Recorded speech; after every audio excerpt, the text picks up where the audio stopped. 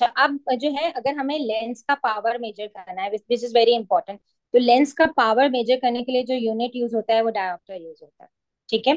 अगर लेंस से जब फोकल पॉइंट जो है, वो बताता है कि लेंस कितना पावरफुल है, जितना फोकल पॉइंट करीब होता जाएगा, उसका क्या मतलब है? उतना हमारा लेंस उतना ज़्यादा पावरफुल है, ठीक है? तो हम लेंस को वन डायोप्टर कब कहते हैं? वन डायोप्टर उस वक्त कहते हैं जब हमारा focal point one meter behind the retina बने, कितना? इतनी तो हमारी रेटिना की लेंथ नहीं होती लेकिन अगर मैं कहूँगी कि एक लेंस का पावर वन डायोप्टर है तो इसका क्या मतलब है कि फोकल पॉइंट कहाँ बन रहा है? One meter behind the retina ठीक है? और अगर मैं कहूँगी कि लेंस का जो है डायोप्टिक पावर टेन है तो उसका क्या मतलब है? One upon tenth of the meter clear है ये चीज़? दूध का नीचे चूल्हा बंद कर।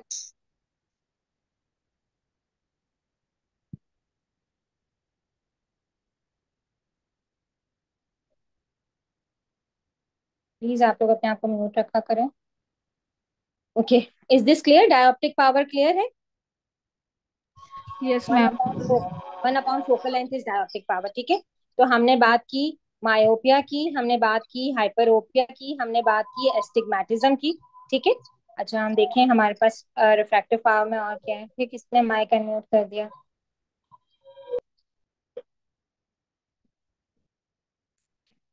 अच्छा जी। तो हमारे पास रिफ्रैक्टिव एरर्स हैं। अच्छा जब भी हमारे पास फिजियोलॉजी में ई का वर्ड यूज़ होगा ई हमेशा नॉर्मल के लिए यूज़ होता है, ठीक है? तो अगर हम यूपनिया की बात करें तो normal breathing emmetropia means normal eye sight ठीक है? Normal eye sight with glasses भी हो सकती है विदाउट ग्लासेस भी हो सकती है, ठीक है? हाइपरोपिया मीन्स क्या प्रॉब्लम हुआ था हाइपरोपिया में? इमेज पीछे बना इमेज रेटिना के पीछे बना था, ठीक है? हमें इमेज को आगे लाना है, हम कैसे लाएँगे? हम बाय कॉन्वेक्स लेंस यूज़ करेंगे। बाय कॉन्वेक्स लेंस कौन से होते हैं? वो जो छोटे बच्चे, जो मैग्नीफाइंग ग्लास होते हैं ना, वो बाय कॉन्वेक्स लेंस होते हैं, ठीक है? तो यूजुअली आप देखो, जो छोटे बच्चे, बिल्कुल छोटे बच्चे होते हैं, उनको जो है ये प्रॉब्लम होता है और जब वो ग्लासेस पहनते हैं तो उनकी आई बॉल्स उसमें से बहुत बड़ी बड़ी दिख रही होती है because these are the convex lens ठीक है? हमें यूजुअली क्या प्रॉब्लम होता है? हमें यूजुअली प्रॉब्लम होता है, हमें दूर का नहीं दिख रहा होता, ठीक है? तो हम क्या है? हमें नियर का ठीक दिख रहा होता है we are near sided people जो ग्लासेस हम मोस्ट ऑफ़ द टाइम पहनते हैं, वो कौन सी ग्लासेस होते हैं? बाय कॉनकेव लेंस होते हैं। हमें दूर का क्यों नहीं दिख रहा होता? क्योंकि हमारा रेटिना जो है इमेज जो है, वो in front of the retina बना रहा है। इसका क्या मतलब है? हमारा लेंस का सिस्टम यहाँ तो ज़्यादा पावरफुल है, या हमारी आई बॉल बड़ी है? ठीक है? और अगर एक से ज़्यादा फोकल पॉइंट होगा तो उसको हम कहेंगे एस्टिग्मेटिज्म और हमारे ग्लासेस में सिलिंड्रिकल नंबर होगा, यानी जब हम ग्लासेस के नंबर लेंगे तो स्पेरिकल के साथ साथ हमें सिलिंड्रिकल नंबर भी मिलेगा क्लियर है ये एरर ऑफ़ रिफ्लेक्शन जिस चैट बॉक्स में लिखते हैं। क्लियर है ये एरर ऑफ़ रिफ्लेक्शन जी। अच्छा और जब हम जो है एलर्ली हो जाते हैं तो हमारे सबसे ज़्यादा use muscles of the body ciliary muscles हैं ठीक है? हम कभी करीब देख रहे होते हैं कभी दूर देख रहे होते हैं तो क्या होता है? प्रोटीन जो है लेंस की वो डीनेचर होना शुरू हो जाती है विद एजिंग उसकी इलास्टिसिटी कम हो जाती है, ठीक है? तो जैसे ही हम thirty eight plus minus two की एज में आ जाते हैं तो हमें नेयर के लिए ग्रासेस चाहिए होते हैं। This is a normal ageing process ठीक है? इसको हम क्या कहते हैं? प्रेस बायोपिया प्रेस का मतलब होता है प्रेस बाय का मतलब होता है ओल्ड एज ठीक है? प्रेस बाय का क्या मतलब होता है? प्रेस बाय का मतलब है old age presbyopia old age में आइस का वीक हो जाना। प्रेस बाय क्यूसिस ठीक है? ओल्ड एज में हियरिंग का कम हो जाना। तो प्रेस बाय का मतलब होता है ओल्ड एज तो प्रेस बाय ओपिया मीन्स के जो नियर जब जो है फोर्टी प्लस की एज में हमारे नियर ग्लासेस आ जाते हैं that condition we call the presbyopia ठीक है? और यही अगर हियरिंग में प्रॉब्लम होगा ओल्ड एज की वजह से, हम कहते हैं ना, बूढ़े लोग ऊँचा सुनते हैं तो उसको हम क्या कहेंगे? प्रेस बाय क्यूसिस ठीक है? अच्छा अब हम कर लेते हैं जरा लेयर्स ऑफ़ रेटिना क्योंकि ये आपके कंटेंट में है तो हमें करना ज़रूरी है। It's not difficult it's easy to recall हम लेयर्स ऑफ़ रेटिना पहले कर लेते हैं, उसके बाद हम फ़ोटो ट्रांजेक्शन का प्रोसेस करेंगे।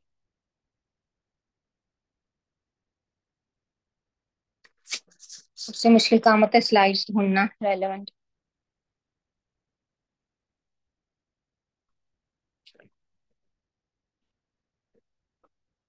सो अब रेटिना की जो है वो टेन लेयर्स है, ठीक है? रेटिना की जो है वो टेन लेयर्स है। हमारा फोकस होगा कि पहले हम पाँच लेयर देख लें और फिर पाँच लेयर देख लें। अच्छा जो सबसे पीछे जो लेयर होती है, सबसे पीछे का क्या मतलब है? रेटिना के पीछे क्या होगा?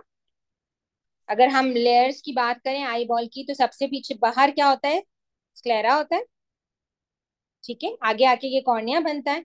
उसके बीच में कोरोइड होता है और सबसे आगे जो है, वो हमारे पास रेटिना होता है। एग्री इसी तरह है ना आई बॉल का स्ट्रक्चर अगर मैं आपको दिखाऊँ तो पीछे आपको रिकॉल हो जाए आई बॉल का स्ट्रक्चर ये लेयर्स देखो। ये हमारे पास स्क्लेरा है, ये कोराइड है, और फिर इनर ये ये जो येलो है, ये रेटिना अब इतनी सी रेटिना के अंदर दस लेयर्स होती हैं। ठीक है? इतनी सी रेटिना के अंदर दस लेयर्स होती हैं। अच्छा अब जो सबसे आउटर लेयर है रेटिना की ठीक है? सबसे आउटर लेयर यहाँ पे होता है फ़ोटो पिगमेंट जो कि मेलानिन होता है। ठीक है ये मेलानिन यहाँ क्यों होता है? हम सबको पता है हम सबने आ, हम सब देखते भी हैं जो है एल्बिनोज को। एल्बिनोज में क्या प्रॉब्लम होता है? जी एल्बिनोज में क्या इश्यू होता है? मेलानिन की डेफिशिएंसी होती है। तो क्या प्रॉब्लम होता है? उनकी आईज में क्या प्रॉब्लम होता है?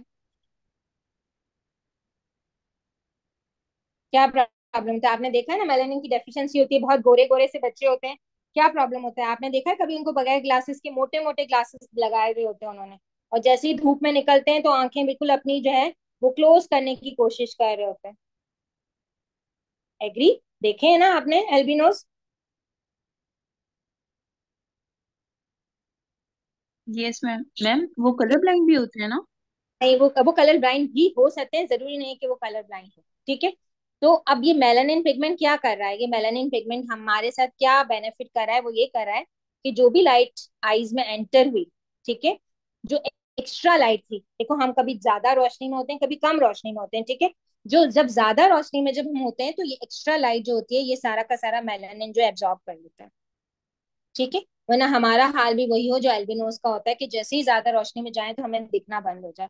या हमारी एक्विटी जो विजुअल की विजन की जो शार्पनेस है, वो बहुत ज़्यादा कम हो जाए। तो ये लेयर कौन सी होगी? सबसे पीछे